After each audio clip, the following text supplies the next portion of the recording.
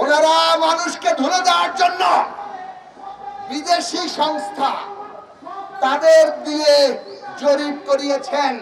সত্তর ভাগ লোক নাকি শেখ হাসিনার কাজে খুশি। তো ভালো কথা, আমাদের উত্তর একটাই, নির্বাচনটা দিয়ে দেন একটা অন্তর্বর্তী সরকারের অধীনে, তারপর জনগণ যাকে ইচ্ছা ভোট দিক আপনাদের সত্তর ভাগ কেন আশি ভাগ ভোট দিয়ে সরকারে পাঠালে আমরা স্যালুট দিয়ে আপনাদেরকে মেনে নেব।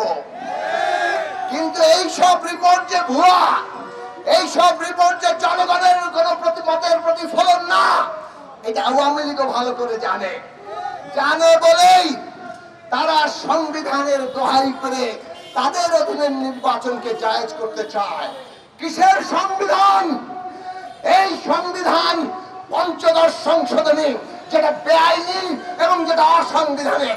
কাজেই বেআইনি এবং অসাংবিধানিক ভাবে যে পঞ্চদশ সংশোধনী করা হয়েছে, তার উপর দাঁড়িয়ে সংবিধানের কথা বলে কোন নির্বাচন বাংলাদেশে বৈধ হতে পারে না।